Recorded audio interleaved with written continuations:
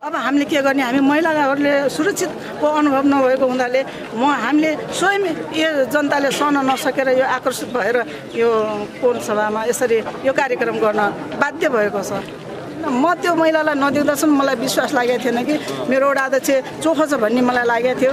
अनि म भित्र गएर परेडीको सरासर माथि जाँदाखेरि त्यो महिला खाटमा बसेको र तन्ना ओढेर बसेको। म जाँदाखेरि ल बहिनी आउनुहोस् भन्दाखेरि त्यो तन्ना फालेर फुत्त झरेर सँगसँगै महिलाहरूमा सँगसँगै तल आयौँ एकजना प्रहरी सरले के भन्नु तपाईँले टोइलेट लगेर जानुहोस् भनेर म टोइलेट लगेर गएँ अनि बाहिर आउँदाखेरि सरहरूले प्रहरी सर एउटा जनप्रति वडा अध्यक्षले रातिको टाइममा प्रहरी प्रमुखको भनाइअनुसार नै उहाँहरू ढाई बजे गएर एउटा महिलासँग एउटा कोठामा भइरहेको अवस्थामा उसले आफूलाई आफू सेभ लाइन हुनका लागि विप्लव माओवादी कार्यकर्ताले वाडा कार्यालय घेर्न आयो भनेर जो रिपोर्टिङ गर्यो नि त्यहीँनिर ऊ तपाईँको एकदम बदनामी तरिकाले प्रस्तुत भएको छ। आफू घटना घटिरहेको छ होइन?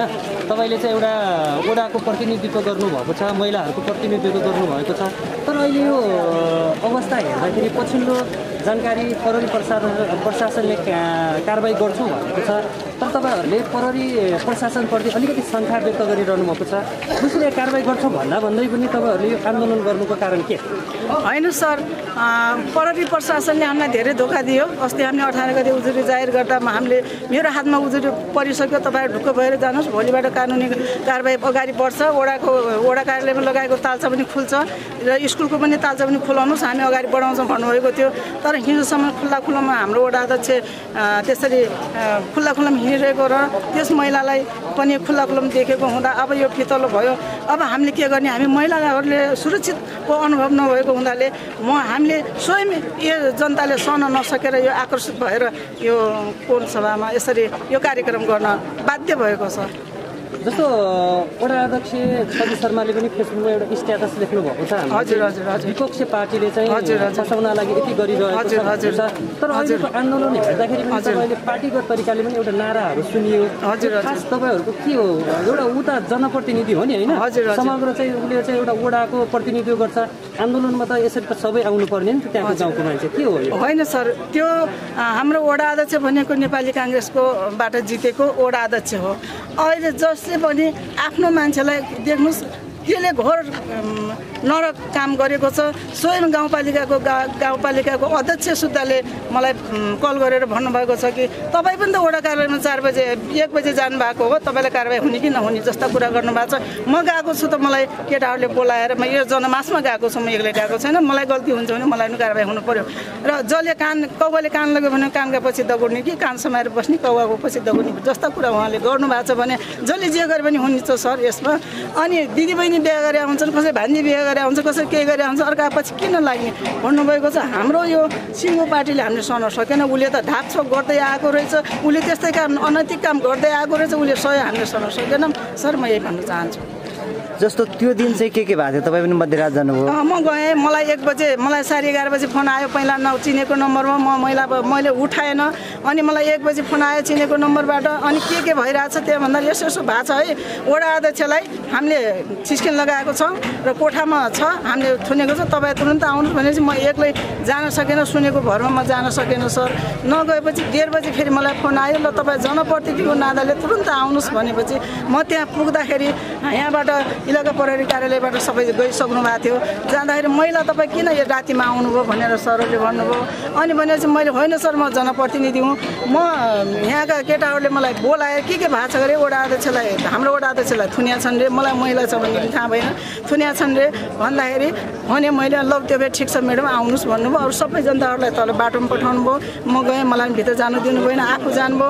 अनि मैले मनले मानेन म त्यो महिलालाई नदेख्दासम्म मलाई विश्वास लागेको थिएन कि मेरो वडा अध्यक्ष चोखो छ भन्ने मलाई लागेको थियो। अनि म भित्र गएर परेडीको सरासर माथि जाँदाखेरि त्यो महिला खाटमा बसेको र तन्ना ओढेर बसेको म जाँदाखेरि परेडले ल बहिनी आउनुहोस् भन्दाखेरि त्यो तन्ना फालेर फुत्त झरेर सँगसँगै महिलाहरूमा सँगसँगै तल आयौँ एकजना प्रहरी सरले के भन्नु तपाईँले टोइलेट लगेर जानुहोस्। भनेर म टोइलेट लगेर गएँ। अनि बाहिर आउँदाखेरि म, सरहरूले म, प्रहरी सरहरूले इन्सपेक्टर साहबले आफैले त्यो महिला र हाम्रो वडा अध्यक्षज्यूलाई साथमा लिनुभयो। पाँचजना जो जो तिनी थुन्ने केटाहरूलाई हाम्रो कुलबहादुर सरको नेतृत्वमा तपाईँहरू जिम्मा लिनुहोस् है। भोलि यिनीहरूलाई सार्वजनिक मुद्दा पनि लाग्न सक्छ। तोडफोड गरेका छन्। यो घर भनेको सबैको भनेर त्यसरी जिम्मा दिनुभयो। अनि हामी यहाँहरूले लग्छौँ। भोलि तपाईँहरूलाई बोलाएर मात्रै यो काम हामी छानबिन हुन्छ भनेपछि हामी ढुक्क भयौँ अब सुरक्षित भयौँ। हामी प्रहरीको प्रशासनको हामीले ठुलो विश्वास गऱ्यौँ तर प्रहरी प्रशासनको विश्वास रहेनछ भन्ने कुरा मलाई महसुस भयो सर।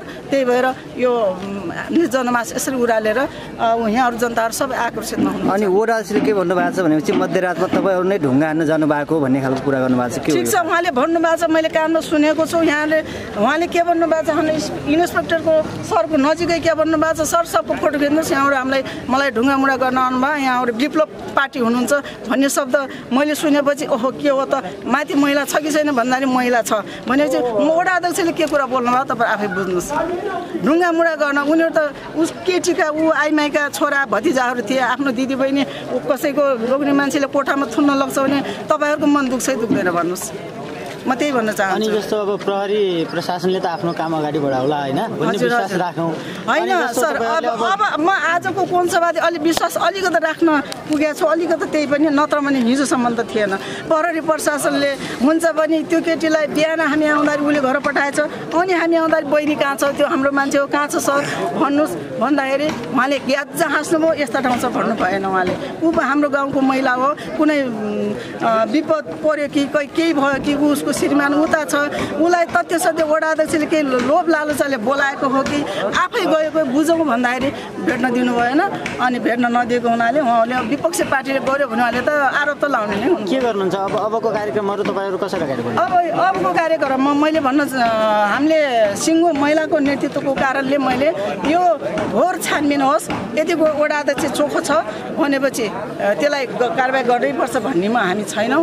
यो घोर छानबिन गरेर यो जनता सामुन्ने पर्दाफास होस् भन्न चाहन्छु। निष्पक्ष छानबिन भयो भने जस्तोसुकै म, फैसला भयो भने तपाईँहरू स्वीकार्न तयार हुनुहुन्छ। स्वीकार निष्पक्ष छानबिन हुनु पर्यो। पक्षको छानबिन हुनु परेन त्रिवेणी गाउँपालिकाका सरकार प्रमुख शासन गरेको कुरा हामीलाई बोल्नुभएको छ। वास्तवमा उहाँहरूले चौबिस घन्टा अहिले पछिल्लो यो घटनाकोलाई लिड गरिरहनु परेको छ। खासै तपाईँले चाहिँ आज तिन दिनसम्म चाहिँ प्रशासनले गरिरहेको कार्य के हो? खास यो विषयमा चाहिँ प्रश्न पार्दैन यो घटनाक्रम जसरी घट्यो नि सर तपाईँको चाहिँ जुन दिन घटनाक्रम घट्यो र घटनाक्रमको प्रकृति एक खालको थियो र प्रहरी प्रशासनका खबर एक खालको भयो? र प्रहरी प्रशासन त्यहाँ पुगिसकेपछि उहाँले स्वयं त्यो घटनाको प्रकृति बुझ्नुभयो। बुझिसकेपछि उहाँहरूले तपाईँको पहिला विप्लव माओवादीले वार्ड घेराउ गरे। सर मलाई शिक्षा दिन आउनुहोस् भनेर जानुभयो। हाम्रो प्रहरी प्रमुखहरू त्यही अनुसारले जानुभयो र जिल्लामा त्यही अनुसार रिपोर्टिङ गर्नुभयो होला। त्यही तरिका साथ जानुभयो।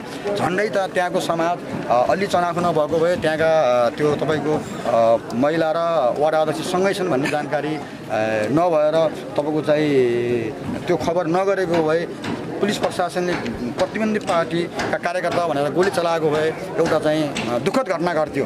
एउटा जनप्रति वडा अध्यक्षले रातिको टाइममा प्रहरी प्रमुखको भनाइअनुसार नै उहाँहरू ढाई बजे गएर एउटा महिलासँग एउटा कोठामा भइरहेको अवस्थामा उसले आफूलाई आफू सेभ लाइन हुनका लागि विप्लव माओवादी कार्यकर्ताले वार्डा कार्यालय घेर्न आयो भनेर जो रिपोर्टिङ गर्यो नि त्यहीँनिर ऊ तपाईँको एकदम बदनामी तरिकाले प्रस्तुत भएको छ। आफूलाई कसरी सेभ लाइन हुन सकिन्छ? आफू सेभ लाइन हुनको लागि तपाईँको चाहिँ जे पनि हरकत तयार गर्ने जो वार्डा गलत सोच भयो त्यहाँसम्म ठिकै रह्यो। वा प्रहरी प्रमुखले चाहिँ त्यहाँ महिला र वार्डक्षलाई ल्याएर ल्याउनु भयो। त्यहाँ चाहिँ भित्र गेटभित्र रहेका पाँचजना साथीहरूलाई चाहिँ पनि उहाँले ल्याउन कोसिस गर्नुभयो। कुलबहादुर भण्डारीलाई को जिम्मामा यहाँ चाहिँ विप्लवका कार्यकर्ता होइन रहेनछन्। यहाँका समाज एकै एकै चाहिँ भाइहरू रहेछन्। त्यसमा तपाईँको जिम्मा लिनुहोस् म तपाईँलाई भोलि बिहान दस बजी बोलाउँछु भनेर प्रहरी प्रमुखले भन्नुभयो। सम्पूर्ण चारवटावासीहरू त्यसमा आश्वस्त रहे। गलत गर्ने मान्छेलाई कारवाही हुन्छ भन्ने विश्वास लिए त्यसपछि छोडे जोडे एकदम सट्काउनै जोडे। अनि त्यसपछि हामी पनि यो घटनाक्रम चाहिँ देखिसकेपछि तपाईँको सुनिसकेपछि के हो त भनेर हामी एकदम सौहार्दपूर्ण वातावरणमा हामी तिन चारजना साथीहरू त्यहाँ उपस्थित भयौँ प्रहरी प्रमुखमा गयौँ। सर के हो यो घटनाक्रम? भन्दा उहाँले "अ, त्यस्तो केही होइन सर मैले ल्याएर वाडाछलाई बुझाइ नै भन्नुभयो अनि मैले तिनीहरू सठिक प्रश्न के गरेको थिएँ भने तपाईँले त्यस्तो गलत क्रियाकलाप गर्ने वाडा अध्यक्षलाई वाडा कार्यालयमा उसको घरमा होइन वाडा कार्यालयमा गरिरह्यो त्यस्तो क्रियाकलापमा तपाईँ आफै हाकिम साहबले देखेको मान्छेले किन छोड्नुभयो? तपाईँले चौबिस घन्टा अनुसन्धान राख्न सक्नुहुन्थ्यो सर। के कारणले छोड्नु भन्दाखेरि उहाँले चाहिँ तपाईँको त्यो घटनालाई तोडमोड गर्नेतिर लाग्नुभयो। पुरै तोडमोड गर्नेतिर लाग्नुभयो। छवि शर्माले दिने जवाब छवि शर्माले दिने सफाइ गाउँपालिका प्रमुखले दिने जवाब त्यहाँको प्रहरी प्रमुखले दिन थाल्नुभयो। त्यसपछि हामीले धेरै दुई तिन घन्टा छलफल गऱ्यौँ डिस्कस गऱ्यौँ। कानुनी पाटो लिन कोसिस गऱ्यौँ त्यसपछि उहाँले बल्ल तल्ल जाहेरी बुझ्नुभयो। एउटा जाहेरीकर्ता चाहिँ जाहेर ल्याउनु भयो जाहेरी बुझ्नु उहाँले के प्रष्ट भाषामा के भन्नुभयो भने मैले तपाईँहरूको जाहेरी बुझेँ। र यो प्रक्रियामा भोलिदेखि नै प्रक्रियामा लान्छु। तपाईँ ढुक्क हुनुहोस् गलत गर्ने मान्छेले कारवाही हुन्छ दण्डित हुन्छ भने चाहिँ हामी त्यो आश्वस्तका साथ हामी अगाडि बढ्यौँ। त्यसपछि ल ठिक छ सर एकदम तपाईँले चाहिँ एक दुई दिनमा हामीले यस्तो तपाईँले के कार के कारवाही प्रक्रिया अगाडि बढ्नुहोस् हामीलाई चाहिँ जानकारी पामै सर हामी भने सोधा स्वाभाविक बाटो निस्क्यौँ भोलिपल्ट फेरि यसो त्यहाँ तपाईँको चाहिँ आएर सोद्धाखेरि सरले प्रष्ट भाषामा के भन्नुभएको छ भने त्यहाँको इन्सपेक्टर साहबले मैले सरकारी वकिलसँग यो कुरा बुझेँ। यो सरकारी वकिलसित कहाँ कति बेला भिडियो रेकर्ड छ कि छैन फोटो छ कि छैन कुन अवस्था के भएको कारणले गर्दा सरकारी वकिलको मनसाए मुद्दा दर्ता गर्न आशयको छैन। त्यस कारणले गर्दा यो दर्ता हुँदैन भन्नुभयो। त्यसपछि हामीले हिजो तपाईँले यो यही कुरालाई चाहिँ कानुनले जे हामीले किटानी जाहेर तपाईँको जबरजस्ती उ गरे पनि होइन जबरजस्ती गरेर नगरेको पनि होइन। सार्वजनिक स्थलमा अनैतिक क्रियाकलाप गरेको कारणले गर्दा यसलाई कारवाही होस् भनेर गरेको निबन्धनलाई उहाँले ढाँकछोट गरेर माहौललाई बिगार्नु भयो त्यसपछि तपाईँको चाहिँ हामीले यतिसम्म चाहिँ हुन्छ भन्ने हामीलाई लागेको थिएन।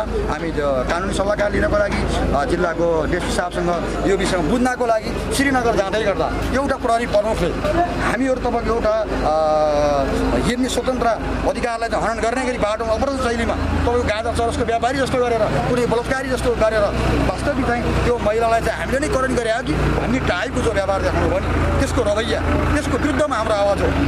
जसले न्याय दिनुपर्ने हो जसले तपाईँको चाहिँ तपाईँको चाहिँ न्यायिक क्षेत्रमा काम गर्नुपर्ने हो त्यही मान्छे प्रभावित भइसकेपछि त्यसपछिको यो बाध्यकारी तपाईँको उहाँसँग लामो छलफल जम्मै उहाँको भनेको उसले वाडा प्रमुखले दिने जवाब र गाउँपालिका प्रमुखले दिने जवाब प्रमुखले दिइसकेपछि हाम्रो बुझाइ प्रहरीसँग शङ्कास्पद हो र उहाँहरूको भूमिका गतिलो छैन भन्ने हो र हिजो चाहिँ हामी पनि डिएसपी कार्यालयमा गयौँ। त्यसपछि आज सरहरूले भन्नुभएको छ यो प्रक्रियागत रूपमा चाहिँ दर्ता भएको छ। अब कारवाही हुन्छ भन्नुभएको छ। उसले गरेका गतिविधिका विरुद्धमा हुने कारवाहीलाई र उहाँले स्वच्छ निष्पक्ष छानबिन गर्ने कुरालाई हामी सहयोग गर्छौँ। जसरी चाहिँ तपाईँले यो आजको वातावरण यो प्रक्रियामा लानुभयो त्यो उसै दिन लानु पर्थ्यो कसैको दबाव प्रभावमा नपरिकन उसैले उसै दिन लिएको भए यो महामारी आएको बेला यो अवस्थामा हामी कराइरहनु पर्ने यो जङ्काभेट हुनुपर्ने स्थिति थिएन र अर्को कुरा थोरै कुरा मैले जोडेको छु राजनीतिकरण भएको भन्ने कुरा छ नि। यो तपाईँको यो राजनीतिकरण कहाँबाट सुरु भयो? तपाईँको वा एउटा गाउँपालिका प्रमुखको पत्नीले एउटा वार्ड अध्यक्षले जबरजस्ती तपाईँको के एउटा के अरे सार्वजनिक स्थलमा उसले गलत नियतका साथ अनैतिक क्रियाकलाप रातिको ढाई बजेसम्म साढे दुई बजेसम्म त्यो त्यहाँ संलग्न छ। उसलाई कारवाही गर्नुपर्छ भनेर हामीले आवाज उठाउँदा गाउँपालिका प्रमुखलाई तपाईँको धारणा के छ? तपाईँले कसरी सहयोग गर्न सक्नुहुन्छ यो विषयमा?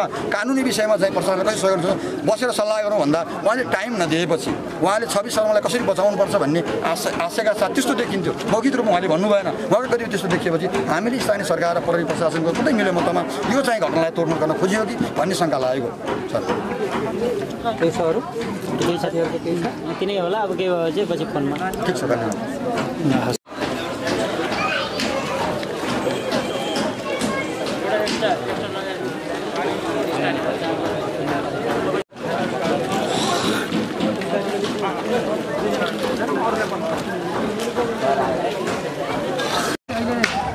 जिल्लाको प्रहरी प्रमुखसँग पनि लिनुपर्छ क्या